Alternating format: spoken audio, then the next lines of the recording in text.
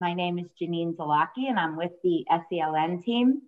I know that my colleague John Butterworth and I had the pleasure of uh, participating with many of you through our webinars on employment that we provided. Uh, it seems long ago, but that's because it was right around the start of the pandemic. So I know we all feel like it's been a long time.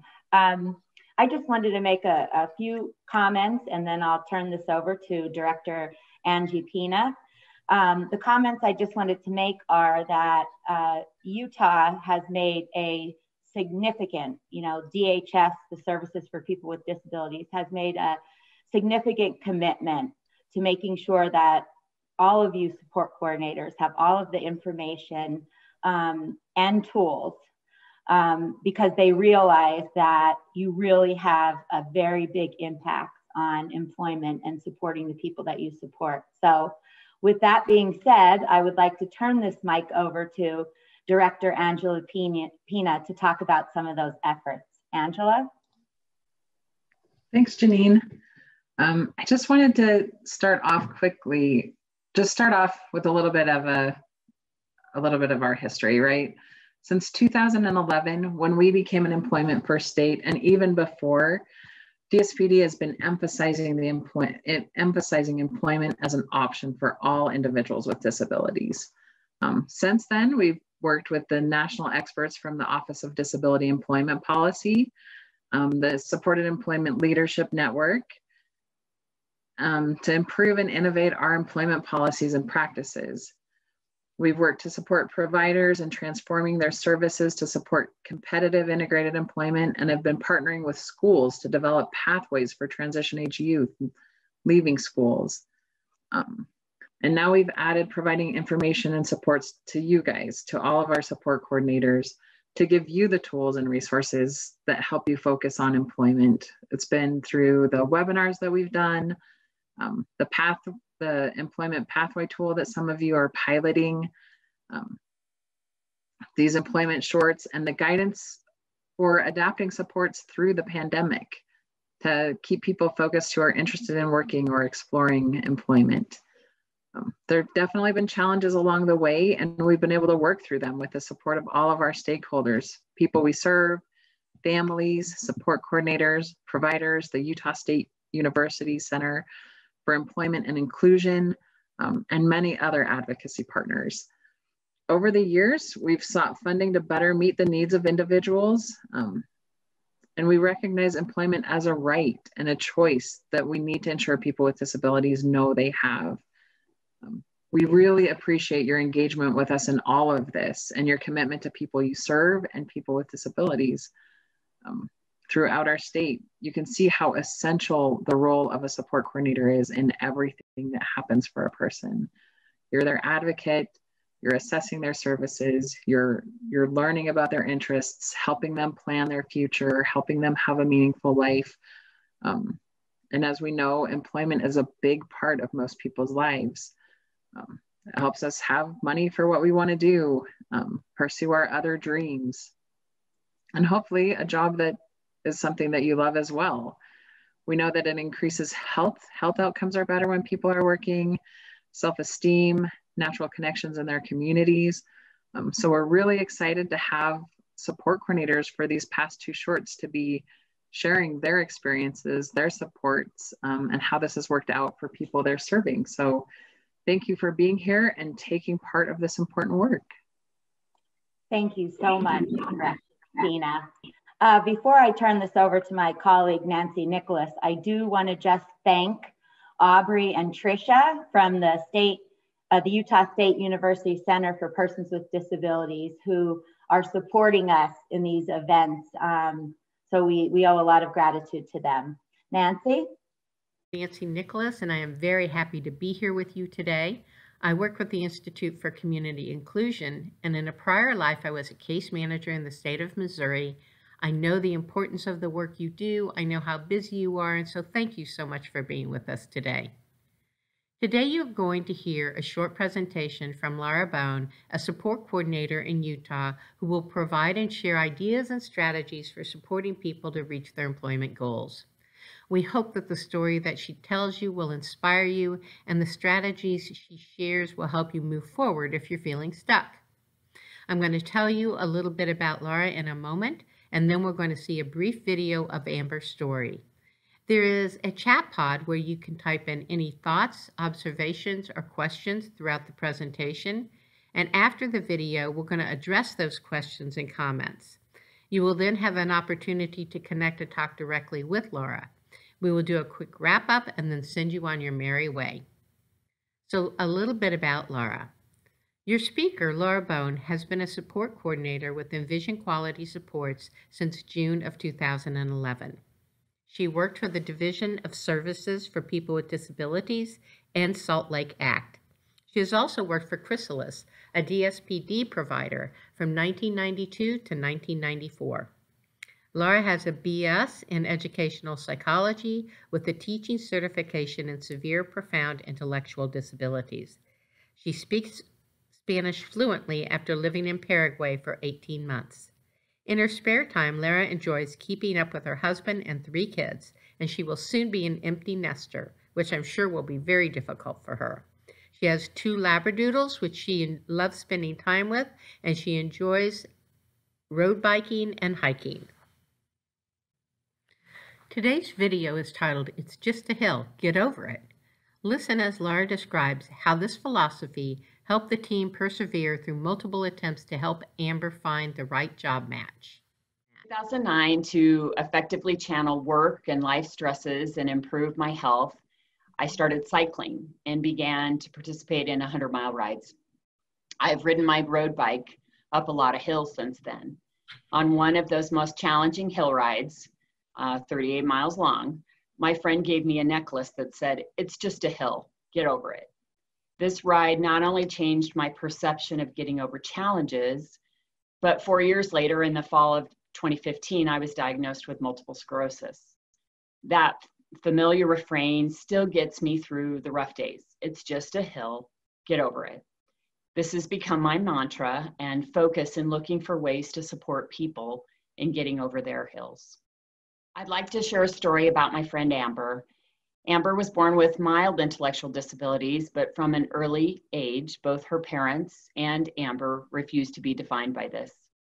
She graduated from high school the year I began to work at DSPD. I actually helped her receive services off the, the waiting list. I've been her caseworker since 1994, with the exception of a few years. Amber has always had exceptional family support and they have encouraged her to live her life without labels and to pursue her dreams and get over her hills. Amber has had 16 job sites that we can remember. This was not exactly the perfect discovery employment process, but rather an exercise in trial and error. Amber just knew she wanted to work. She did not find the perfect job match at age 22 or even the first time she was hired by Pizza Hut. It took her a second time in 2011 when she was 39. This time she was preparing food, prepping the dough, and helping breadsticks to rise. And here she began to develop one of her passions cooking. One of Amber's significant hills is that she struggles with depression and needs to work to have a schedule to keep her busy. She's always wanted to work, and her current employer, Pizza Hut, is a pickup and delivery location only. This means that they have never closed due to the COVID 19 pandemic. Amber wears gloves and a mask, and her location environmentally has assisted her to have a space in the back of a store that allows her to not be distracted. She and her job coach primarily have had this space to themselves Amber has a list that she receives daily from her manager that includes the breadsticks, wings, pasta, and other side menu items that she prepares. Her job coach's primary job is to transport Amber to and from work. We started out using public transportation, but inclement weather frequently caused tardiness and unnecessary requests for days off, often at the last minute we had to brainstorm and use appropriate codes within the billable services to ensure that transportation was working the way that Amber needed it to. Um, building the relationship with her coaches helped Amber to increase her sense of independence and allowed the coach to back off of their task demands. This gave Amber greater autonomy in creating her daily plan. As Amber's planning team, we changed our approach about 10 years ago to wrap around supports for Amber's version of independence. While in high school, she had two high school placements at 7 Eleven and Airport Food Service. And we accessed Voc Rehab for these placements and the next six. Following her graduation, she worked at Chili's, the University of Utah Food Service, McDonald's, and then at that point, we accessed waiver supports and supported employment. In Amber's current employment, her infinite support coaches sometimes stay to provide support and sometimes don't. They take the cue from Amber. In the past, when Amber is without employment, she gets lost in a false reality her employment and feeling that she is an integral part of the Pizza Hut team allows her to compartmentalize her life and feel control and success in her me- physical and mental health. She enjoys socializing with coworkers and coaches and loves to schedule upcoming plans with friends and family that she can look forward to. Initially, we built too much support for Amber in all the wrong environments, both in her jobs and with roommates. As a caseworker, I wanted Amber to find the perfect job and often could not predict how she would get along with coworkers and managers. Further, I couldn't predict how she might respond to their requests. Amber needs to feel part of Team Pizza Hut, and she does. She has felt valued and supported by her coworkers for the nine and a half years she has worked there. As a team, we have identified how we could be on a text chain in real time and address concerns as they occurred. We all agreed to support Team Amber and her progress in getting over those hills and finding joy in life. We had a group text in the beginning that were quite extensive and expansive. But as Amber felt confident that we could support her, she increased in her independence in all areas of her life. We supported her attending therapy from weekly to monthly and as she needs it per current challenges. Amber has always had a voice about what she wanted her life to look like. It didn't include accessing public transportation and having roommates. It did include her family, having friendships with her coaches who provide her a way to and from work, and a chance to relax and decompress prior to starting her workday and on the way home. Amber's job at Pizza Hut is her 16th place of employment. But the second opportunity, Amber and her coach changed the location of her workstation so she's not distracted by other staff or customers. Um, and she's able to focus on completing her daily list very sequentially. Job number 16 was the right combination of supports and autonomy, the secret sauce to her success. Although change in Pizza Hut management and job coaches is inevitable, Amber is the constant and has often worked longer at her store than the managers. She started her second role with Pizza Hut on April 13th, 2011, and is very proud of her yearly anniversary, celebrating nine years this year. Elon Musk said it is possible for ordinary people to choose to be extraordinary.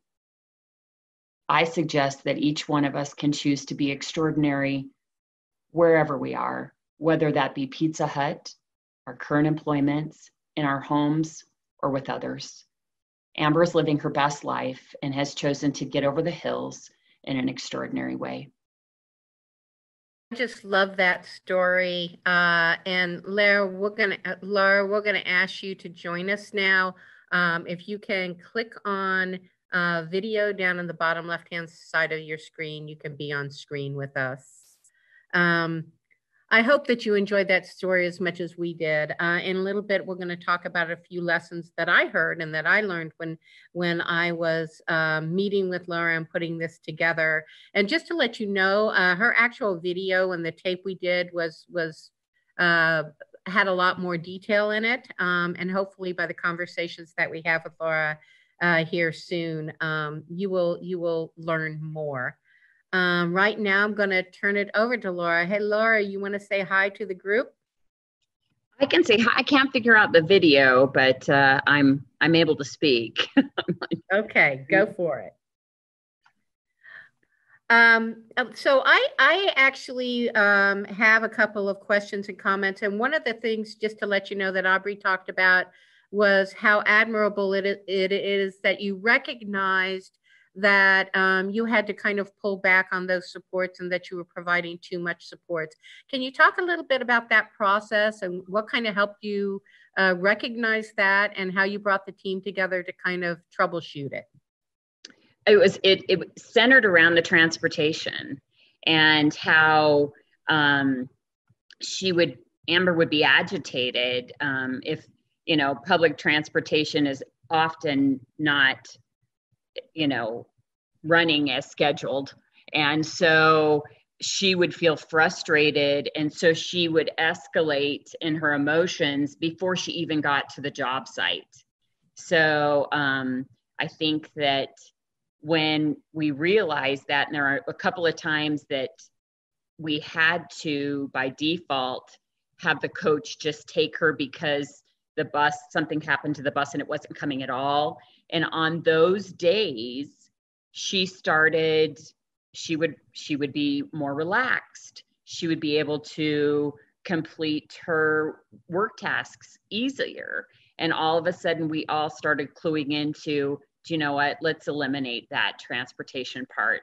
And um, so we tried it for a month and noticed that her emotions were more regulated she had more success. She enjoyed her job. There were less um, emotional outbursts.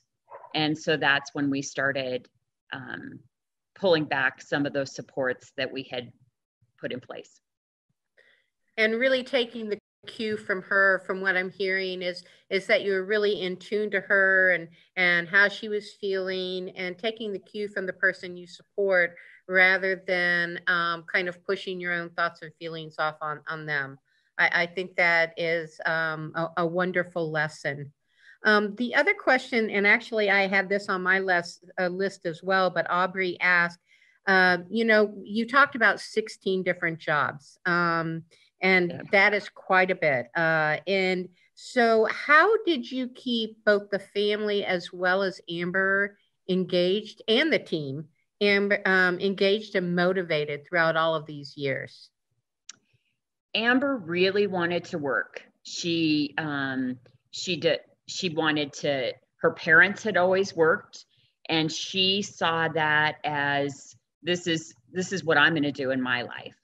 And so she was always invested in finding the right job.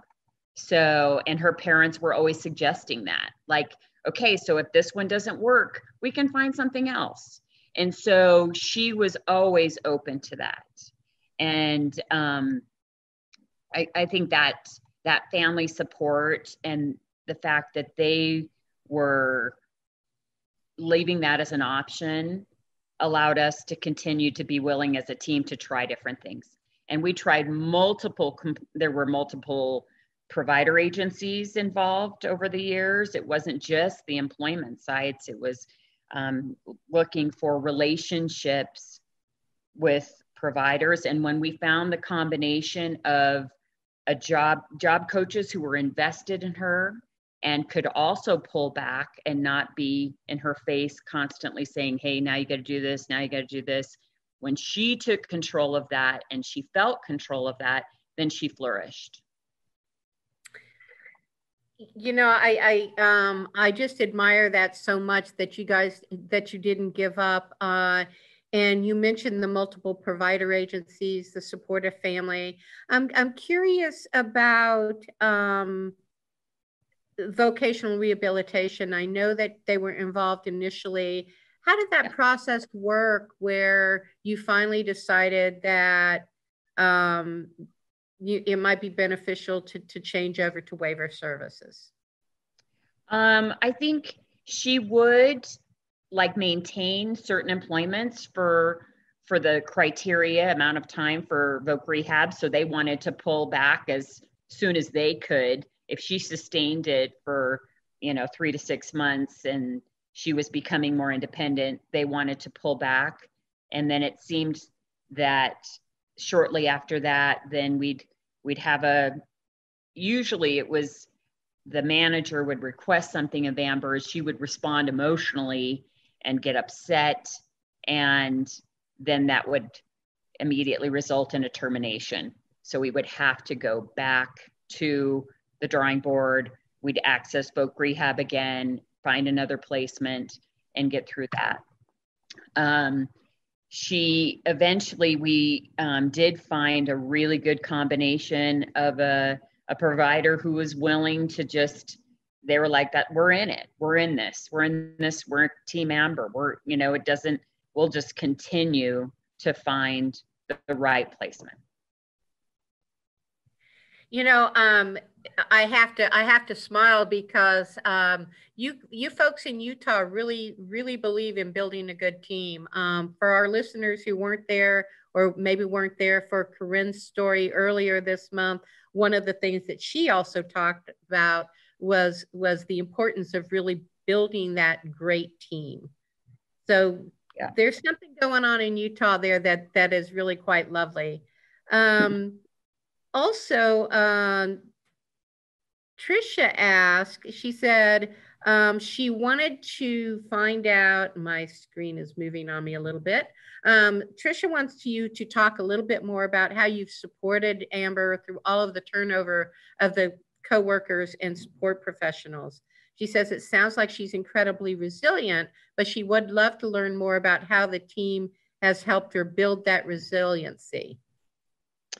Um, part of that is is also the mental health component. We um, did get uh, her involved in the the uni the neurobehavior home program here, which is a medical home model.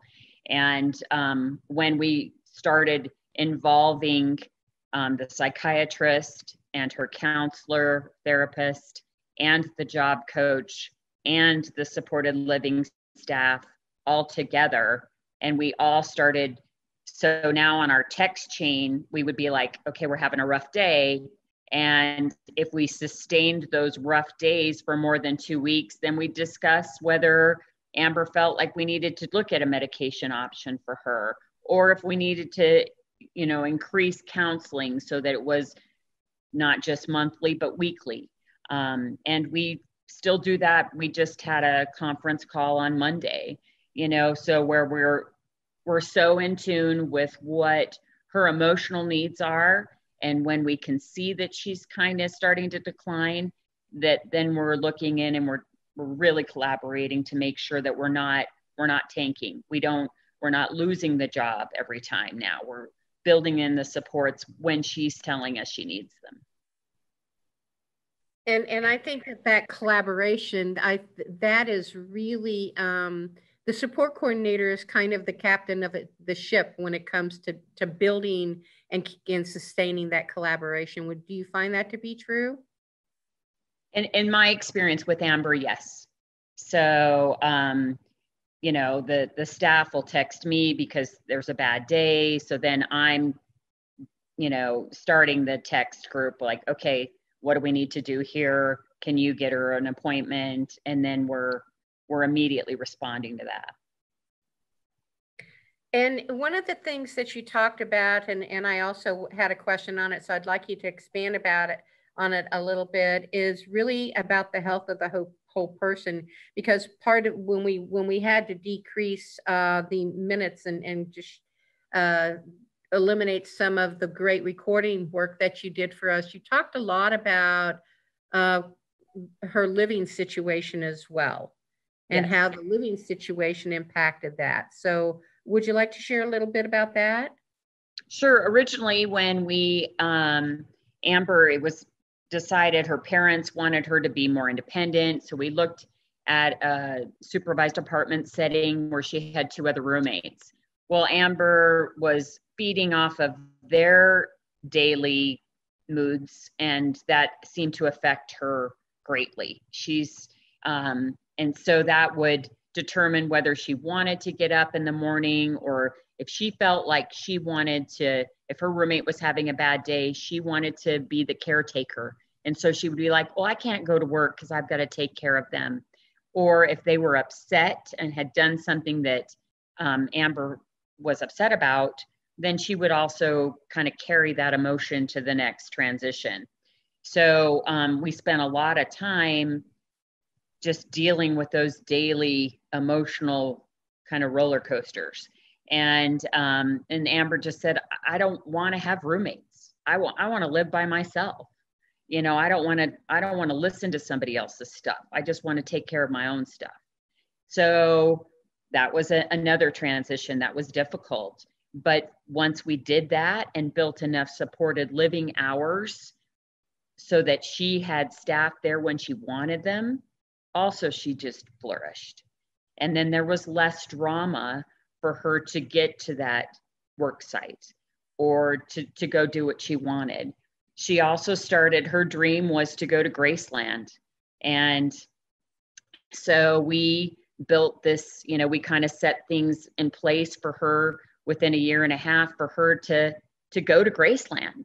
You know, if she worked so many hours and she had sustained that and she had earned enough money that and every month we discuss that as a group. Okay you were like this is how much money you have. This is what you need. You're almost to graceland.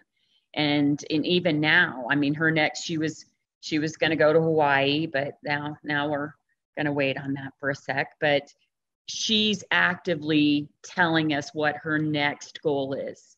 And and that's the same for me in my life and i think for all of us yeah, that is very true. We all work. Um, it's it's wonderful to have a job that that you enjoy and you love, but really we all work so that we can have money to do the things that we want to do. It's a great exactly. It is. Yeah. Um, I'm just curious, uh, Jeanine, uh, my my comrade Jeanine, uh, and my colleague John Butterworth are both on the line. Um, I will ask them if they had any questions that came to their mind. And we'll just Hi. give it. Oh, sorry. Hi, it's Jeanine. Um, Laura, you alluded to the, you know, 16 jobs, and I guess, you know, it's it's not the same as Nancy's comment, but I, I just wanted to know if you had um, any advice because I think what happens is a lot of times, if there isn't a good job match, um, it's you know the person is said to you know that oh, they're not ready for a job or, you know, it's this or that. How did you really get into the real issues of what, you know, what didn't make that the right job match? And then finally to getting the right job match and staying that course because a lot of times we have to, you know, you know, push with providers or push with teams to get over that hump. So I was just wondering if you had any comments there that would be helpful for us to learn. I, I think environmentally you know knowing what that she needed just a focused area where she wasn't being distra- distracted and setting up the workstation environmentally so that that wasn't an issue was was the best thing that we did. To just set her up so that she was not distracted by other coworkers and that she could just complete her job so and and that that took us to like job 11 to figure that out mm-hmm. you know? Yep. so i think um just looking at what can make someone successful. Absolutely. Absolutely. Okay john said that he loves and appreciates the persistence and focus on listening um, and and really putting the needs of amber and her desires first uh, we are uh, running out of time for questions. Uh, so we, we are going to get started um, with our last comments. Uh, Laura, thank you so much for joining us today. We so much appreciate your time and your effort and you and your wonderful, wonderful story. Thank you so much. I'd like to spend a few minutes right now talking about some of the strategies that I think really helped the team and Amber be successful in finding and maintaining employment. First of all, was the belief that the family had and an expectation for work, and the fact that the team recognized how important that belief was. I think the fact that the family was so insistent that she could be successful really helped the team maintain their belief that Amber could be successful as well.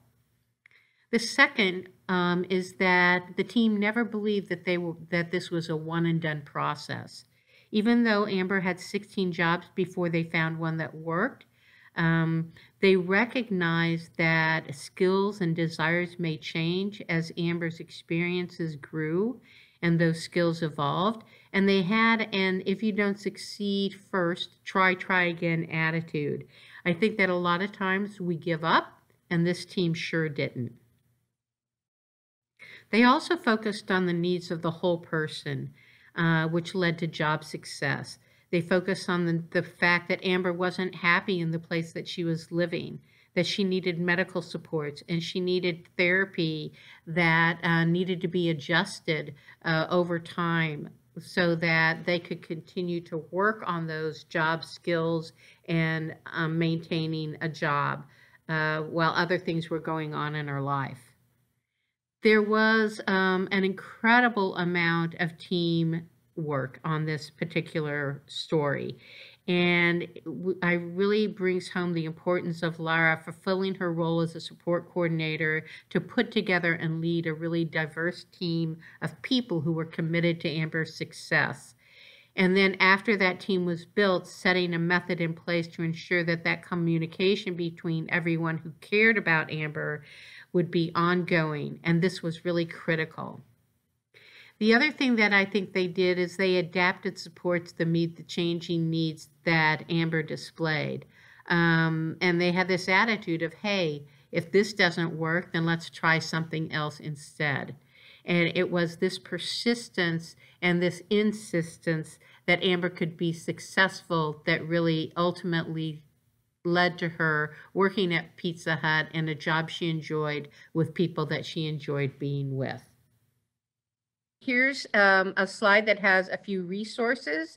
Uh, just to let you know, we will be um, including uh, these Corinne's video, which was November 5th, and the video here today um, on the Center for Employment and Inclusion's website and actually uh, that's .com slash webinars. Um, and also you heard Utah talk about their guidance for conversations. Uh, I'm so excited you all are doing that. And but we also at the State Employment Leadership Network through NASDDDS and ICI have a guidance document. And if you are interested in um, seeing that um, and seeing additional shorts from uh, support coordinators from around the country, you can find that at selnhub.org slash shorts. So that is our presentation today. Thank you so much for joining us. We really appreciate your time. Thank you, Lara and Jeanine and all of the folks in Utah. And I hope you all have a wonderful day. Thank you.